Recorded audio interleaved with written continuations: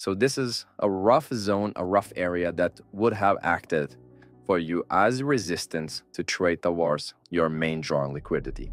But then it pulled back right into this fair value gap from the London kill zone right here. All right, so how is everyone doing? I hope you guys are having a great week. So in this video, I thought I will run you through how I really stack confluence for my entries. And in this particular video, I will be talking about one specific move, one specific way of finding and stacking confluence for your entry how to be more precise and how to find those very neat opportunities when you have your full structure, your full top-down vision for that trading day when you identify your liquidity pools that you are going to trade towards, that you have that clear daily or lower time frame alignment, or let's say that day you're in full scalp trading environment. So so these are some foundational or that we talked about in the previous two videos.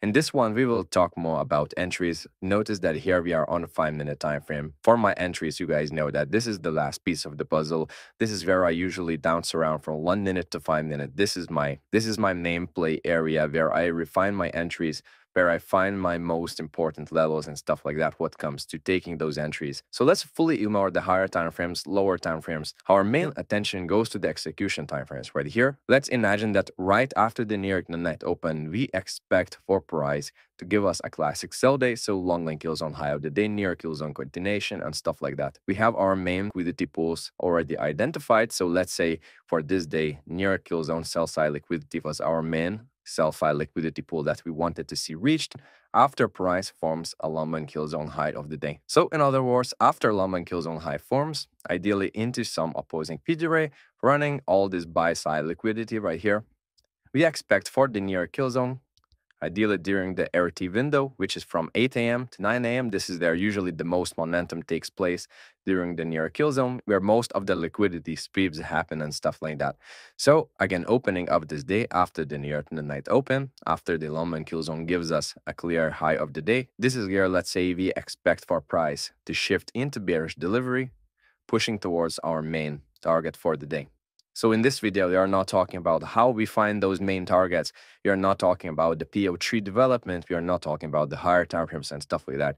Again, you're purely stacking confluence of how some of those high probability type of plays are born and how we actually stack confluence and in other words, stack positive factors on our side for the trade. So now again, as mentioned in the very beginning of this video, this time we will be talking about one main major factor of how I identify some of the areas that I will be looking to trade away from. And again, this is where we already have our full alignment from the higher time frames, lower time frames, execution time frames. Pushing towards main draw on liquidity. This is our go time. This is our prime time to start looking for developments. Then we have time of the day on our side as well. This is just perfect. So now again, you will not be going to focusing on all that. Our focus goes on this one thing that helped me to identify areas what comes to one minute time frame all the way to 15 minute time frame. Even though, as mentioned, my execution time frames are from one minute to five minute. But what comes to finding these zones, these confluence zones, this is where you can bounce around mostly from five minutes to 15 minutes. So what comes in between of these two time frames, 5 minutes and 15 minutes, usually I check what's happening on the 10 minute as well. And what comes to entries, as mentioned, from 1 minute to 5 minute is my play area. So now strictly talking about this price action right here, what we are seeing, notice that price gave a liquidity shakeout as it usually does. And what I'm talking about, notice that we have this consolidation right here. Price took out the buy side liquidity first, giving the actual true direction for the short-term development because you can see that this whole structure is not very huge it's just five minute type of structure. So i think you guys remember what we talked about in the last video when we have liquidity built up. Usually when they are expecting for a shakeout to happen price did this first move is usually just trapping breakout traders. Those traders who are looking to take long position right here and cover the lows of this consolidation. And these breakout traders get trapped because price then goes lower, takes out the sell side liquidity, and only then starts rallying higher. So in other words, what we had here was liquidity shakeout. Price generated liquidity, buy side liquidity right here, sell side liquidity right here. With this first move, it actually shows the real direction that price is going to be moving for the next few hours or sometimes for the whole day. It traps all of these breakout traders right here, then shoots to the downside, takes out the sell side liquidity, usually into some opposing bullish P array, and then takes out this buy side liquidity and keeps on climbing to the upside until eventually it either hits some opposing PD array or runs some liquidity from where we start looking for down movements again. So this is what we saw here, Rise building liquidity. Again, as mentioned before, the whole area between the New York midnight open to the London kill zone open is when price is still building liquidity after the 10 hour window, after the Asia range window. This area right here is also then price is just building liquidity. You can see from the price action how the volume is low and price is just simply messing around right here. And then notice that with the very first candle during the London kill zone open, price starts giving clear momentum right here.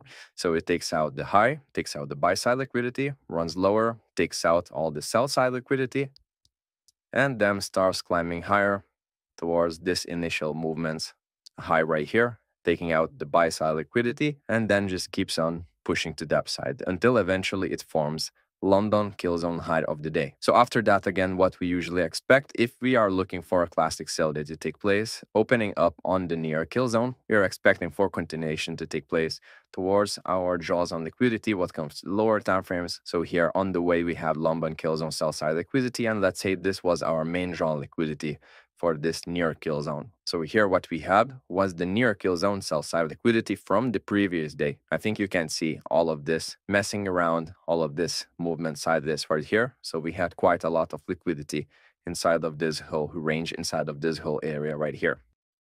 So now coming back to the main topic of this video, what we will be talking about is this.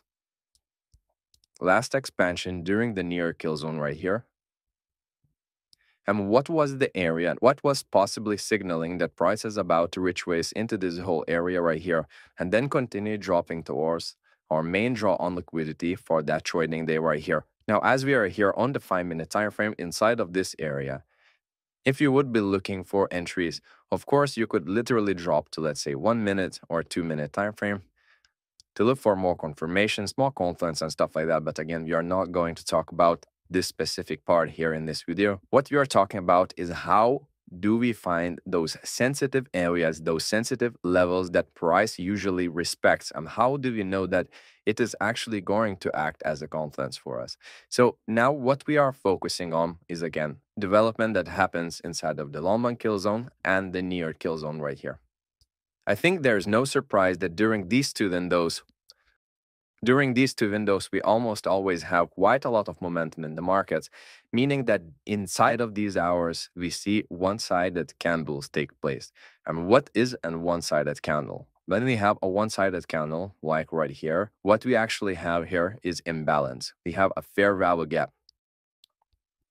So we have an imbalance candle right here that, as you can see, formed right in the beginning of the London kill zone. Now, I don't know how much you guys know about fair value gaps, but at the same time, I will assume that most of you guys already know what is a fair value gap. There are a lot of videos and a lot of information. What's an imbalance point? What's a fair value gap? What's buy side imbalance, sell side inefficiency, and all of that.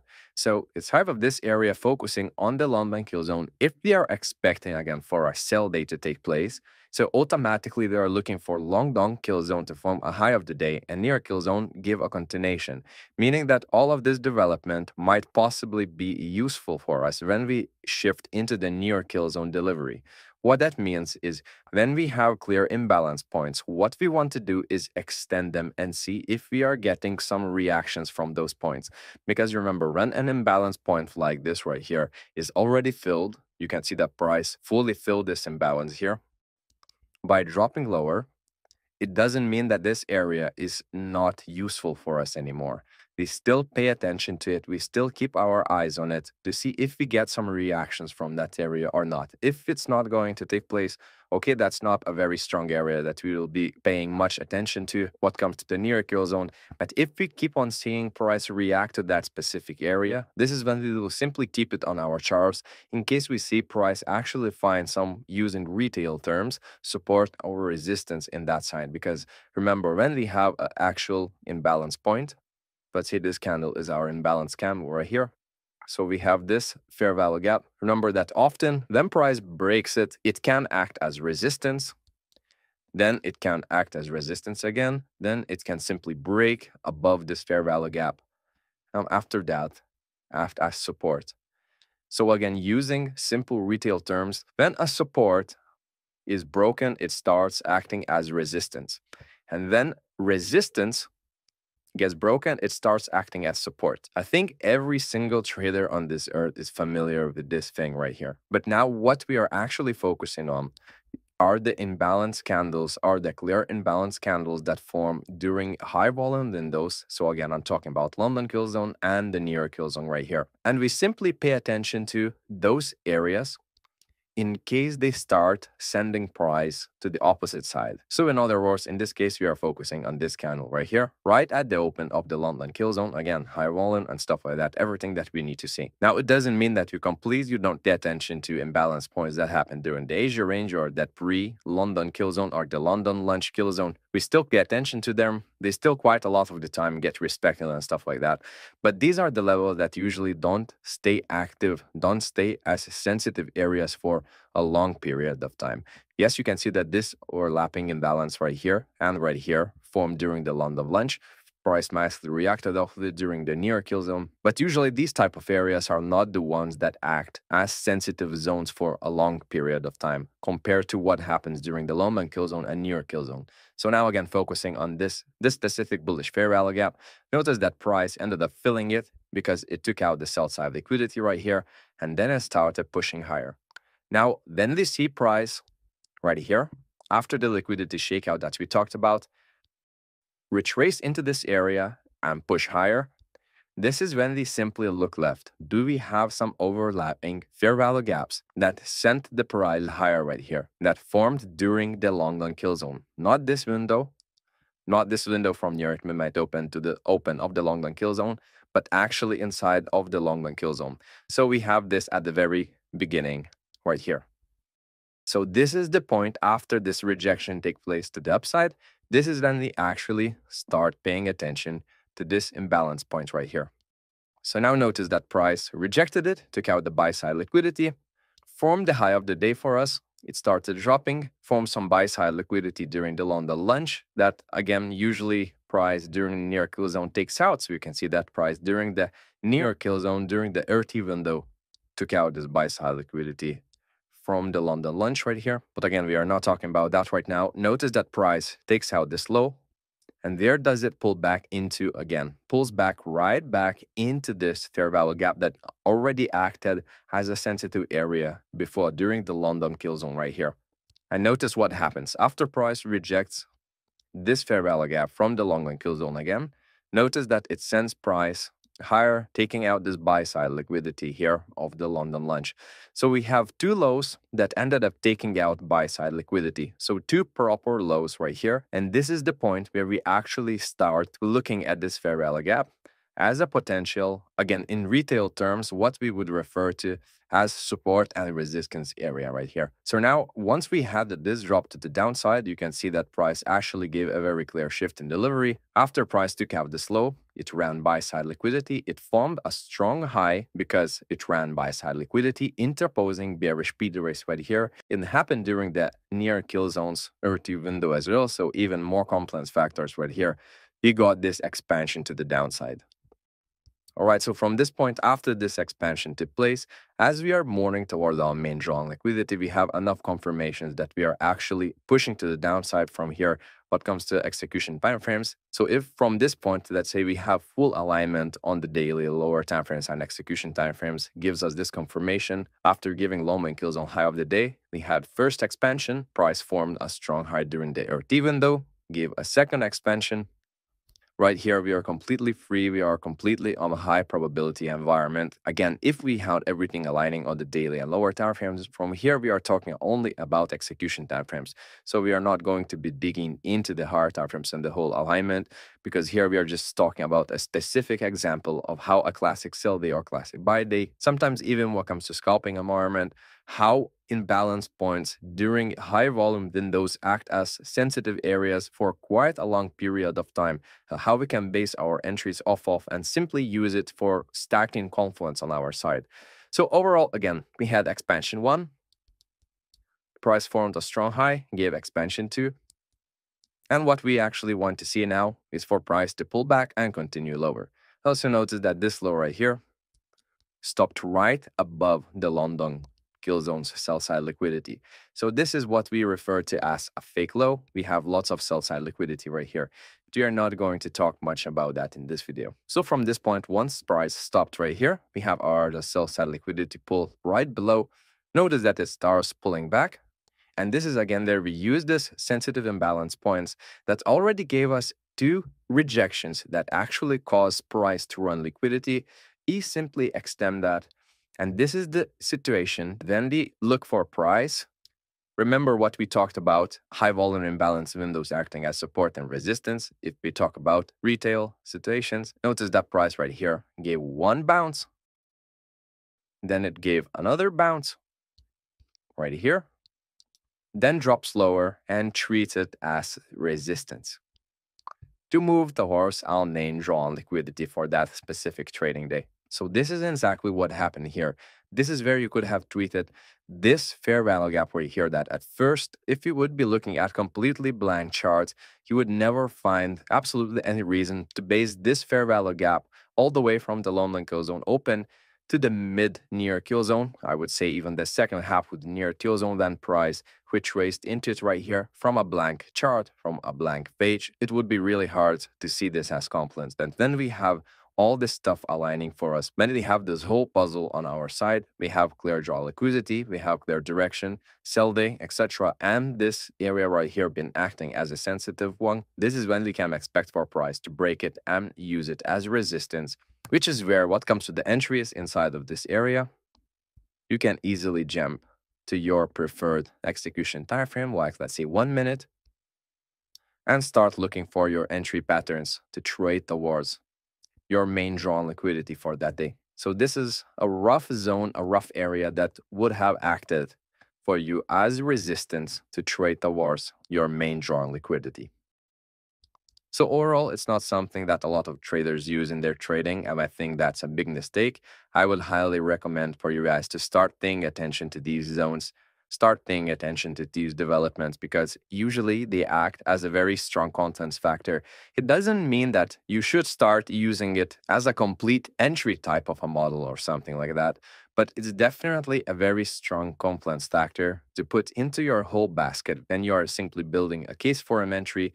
This is when, let's say, if you find and spot this type of area on two minute, five minute, let's say 10 minute or even 15 minute, this is where you can actually just drop to execution frame slide. Let's see, one minute, two minute, and this is where you can look for your entry patterns to take place. Sometimes, if let's say this is two minutes already, right here, and everything else is aligning, let's say we have even more confluence right here, like bearish order block and stuff like that. This is where you can even take an entry based on this area right here. And this is something that pretty recently happened on the euro dollar. Let me show you this example, we are not going to be fully digging into that breakdown. This is the trade that we actually ended up taking with our community. And it happened last week on Tuesday. So now again, notice what we are seeing here. London kill zone high of the day, New York kill zone continuation. So now we were basing our entries towards this specific development on main drawn liquidity at our main targets. We are sell side liquidity here, sell side liquidity here. But now we're talking specifically about entries and everything that we talked about in this video so far. Notice this imbalance point that again we didn't pay attention to until price actually reacted higher, then gave another reaction, then broke it to the downside, gave another reaction. So basically, in other words, this was the fair value gap that we were focusing on. Notice that price reacted to the upside right here, then dropped lower, reacted to the upside again. Then what we had here was price fully breaking it to the downside and reacting running to our sell side liquidity levels. So in other words, I think you guys can clearly see how this area stayed sensitive for quite some time and we didn't pay attention to it at all until price actually gave this first reaction, second reaction, because obviously that day we were not looking to trade to the upside. We were focusing on downside because we had a bearish daily stage. We have clear bearish draws on liquidity and stuff like that. So then price gave this first reaction. We look left, we had this imbalance. We even had this imbalance overlapping right here as well that you could have used. Tilted that price reacted higher, reacted higher again, broke it, reacted to the downside here and then eventually our entry happened right here because what we had here was a bull trap, but obviously we were expecting for a New York kill zone condemnation to the downside towards our main draws on liquidity. So when we extend this area right here, notice that price went slightly higher above it, but then it pulled back right into this fair value gap from the London kill zone right here. That before the entry happened already gave three rejections, two to the upside, one to the downside. This one simply doesn't count because it sliced it to the both sides as it was forming this bull trap right here, running sell side, buy side. In drop lower, notice that it left this BPR inside of this general imbalance area as well. This bullish imbalance filled the bearish imbalance, and this is where our entry was born. So I don't want to go into too many details because, again, this is something that we deeply covered in our community and stuff like that. So, but overall, that's another example from a five minute point of view. Your imbalance points are simply overlapping and where you can simply just pay attention to those areas during high volume windows when price is reacting to it. This is when you can stack confluence for price to drop off towards your main draw, liquidity towards your main target when you have a specific imbalance point very nicely overlapping and acting as a sensitive area. And this is what I talked about regarding this imbalance point that was also aligning in this area as well. Then we had a BPR balance price range here as well. So you can see how much imbalance was aligning inside of this area right here. To take a short position right after this bull trap took place, pushing towards main drawn liquidity after seeing London kill zone form a high of the day and New York kill zone give a continuation to the downside. So that is it for me today. I wish you good trading and we will talk very soon. Take care, guys.